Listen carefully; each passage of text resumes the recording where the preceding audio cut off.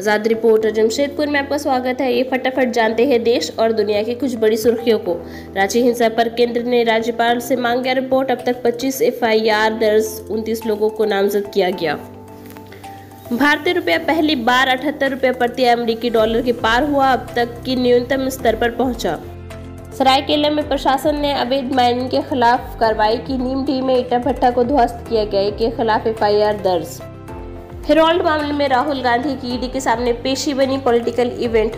Party कार्यकर्ता barricade तोड़कर राहुल गांधी के पास पहुँचे। पार्टी कार्यकर्ताओं संग विरोध में पैदल मार्च करके ईडी दफ्तर पहुँचे राहुल गांधी। बहन प्रियंका वाड्रा भी थी साथ। अभी न्यूज़ लिखे जाने तक ईडी राहुल गांधी से अंदर पूछताछ कर रही है और मुल्क भर में कांग्रेसी कार्यकर्ता एहतजाज कर रहे हैं।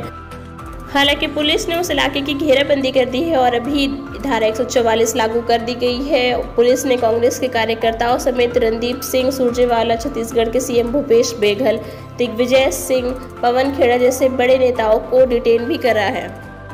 प्रॉफिट मोहम्मद के खिलाफ बोलने वाले नुपुर शर्मा के खिलाफ कोवैत में इंडियंस ने बहुत ही जोरदार प्रदर्शन किया, लेकिन बिना गवर्नमेंट के इजाज़त के प्रदर्शन करने की वजह से कोवैत ने उन सभी निर्वासियों का वीज़ा रद्द कर दिया है। भेजे गए निर्वासन केंद्र अब डिपोर्ट करने की तैयारी हो रही है। कोर्ट रोड हाथीगोड़ा मंदिर के पास ट्रक ने मारी कार को टक्कर, किसी के हताहत होने की खबर नहीं। केंद्रीय स्वास्थ्य मंत्री के साथ आज हमारे राज्य स्वास्थ्य मंत्री बन्ना गुप्ता ने की बैठक।